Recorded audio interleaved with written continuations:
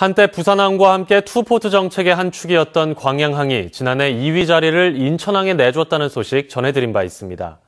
그런데 올해부터는 이런 순위 경쟁이 의미가 없어집니다. 박광수 기자가 보도합니다. 지난해 광양항의 물동량 처리량은 233만 TU. 2천만 TU에 육박한 부동의 1위 부산항과의 격차는 더욱 벌어졌고 인천항에 마저 4만 컨테이너 차이로 뒤지고 말았습니다. 1997년 이후 20년 만에 처음으로 3위 항만으로 밀리고 만 겁니다. 하지만 올해를 기점으로 일단 반전의 계기는 마련될 것으로 보입니다.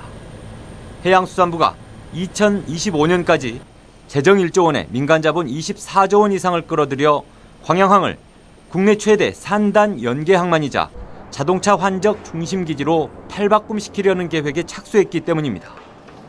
10년 후 배후산단 생산액을 현재 두 배로 늘려 컨테이너 화물 외 일반 화물 처리로 활로를 뚫겠다는 전략입니다. 지역에서도 변화의 효과를 극대화하기 위한 준비가 한창입니다.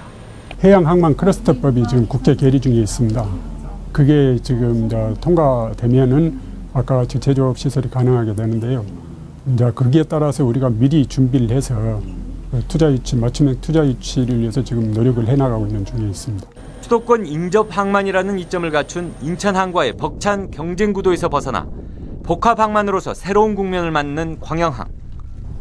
이제 단순한 컨테이너 화물 처리량 수치는 의미가 없어질 전망입니다. 관건은 항만 내 다양한 기업들의 생산 활동과 물량 창출의 선순환 구도를 조기에 현실화시켜낼 수 있을지 여부입니다.